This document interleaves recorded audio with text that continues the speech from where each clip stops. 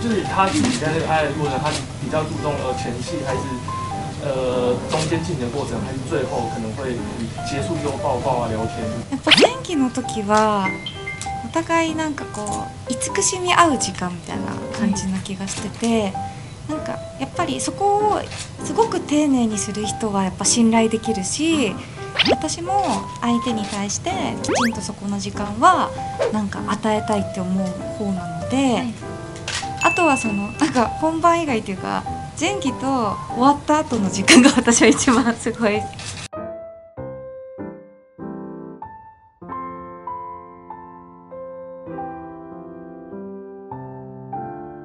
さくらまなと申します。今日はよろしくお願いします。あの久々の台湾なので、本当に楽しみにやってきました。どうぞよろしくお願いします。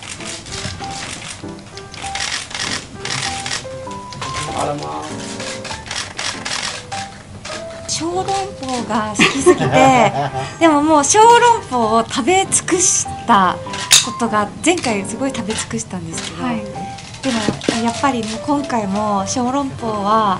じゃなく別のものにしようと思いつつやっぱり小籠包頼んじゃうっていう こう長く付き合ってたり長く一緒にいるとこうマンネリ化しやすくなるってよくおっしゃるじゃないですか、はい。だからなんか私がいつも言うのはなんか環境を変えてみて、やっぱ家っていう現実の場所から少し離れてはい。なんかこう新鮮な気持ちになれる場所はい。に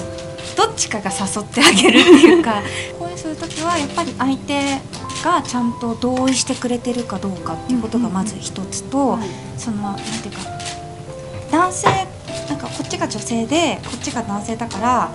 絶対大丈夫ってことはなくてやっぱ相手も男性も嫌がってる可能性もあるし、今乗り気じゃないとかなんかしんどいみたいな時じゃないかなってきちんとその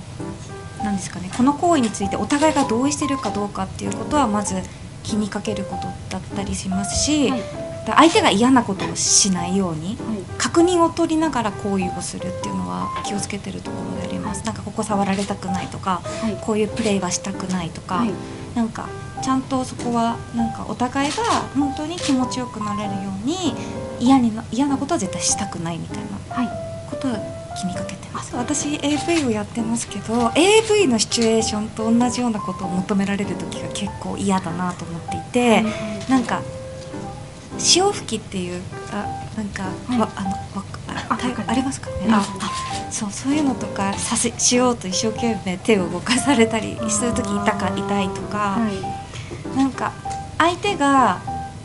そのシチュエーションを見たいがゆえに自分が使われてる時が嫌だなと思います、だから AV の真似されたりあとはなんだろう。痛いのに気づいてくれないとか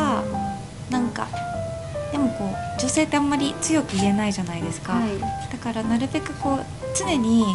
気にかけてほしいなと思いますね。その都度その都度気にかけてくれれば嫌じゃないんですけどはい。なんか強引ななんか雰囲気がすごく私は苦手です、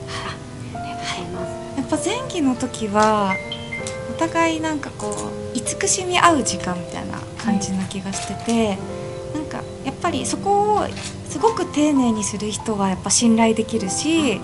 私も相手に対してきちんとそこの時間はなんか与えたいって思う方なので、あとはそのなんか本番以外というか前期と終わった後の時間が 私は一番すごい相手が見える瞬間がその最初と最後に出てる気がしててなんかそこで人をジャッジしてるかもしれないです。そ